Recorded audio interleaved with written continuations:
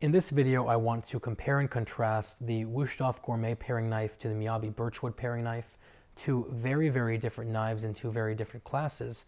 The Miyabi is handmade and forged, while the Wusthof is stamped and machine made, and the attention to detail in the Miyabi is second to none.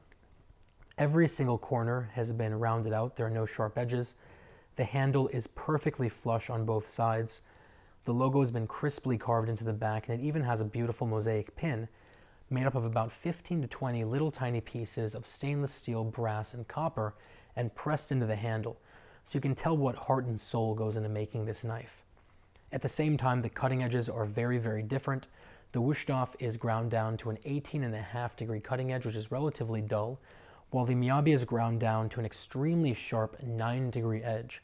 So you can imagine that having an edge that is roughly, what, over two times as thin ends up making it a exponentially sharper edge. The materials are very different as well. The Wusthof uses their proprietary 58 hardness steel, so it is going to need to be sharpened and honed quite often. While the Miyabi uses SG2, it's a very high-end powdered steel, 63 hardness, and what that means is, as long as you use the knife properly, realistically speaking, it's never going to need to be sharpened. Either side of the blade is also clad in 50 layers of stainless steel to protect it, and it also creates a beautiful Damascus finish that I hope you can see. Both knives have full tangs.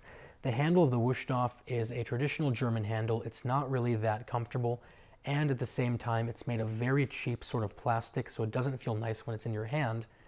The handle of the Miyabi is made of birchwood, which you can't really even tell in this video, looks almost like a piece of marble that happens to be made out of wood, and it's just breathtaking. And it's a D-shaped handle, so when you put it in your hand, it fits perfectly and it fills in all the little crevices, and it really is a joy to work with. They both have lifetime warranties, and it comes down to really being a personal preference. I'll put a link down to both below. If you have any questions, any comments, or any concerns, as always, let me know. And otherwise, I will talk to you very, very soon.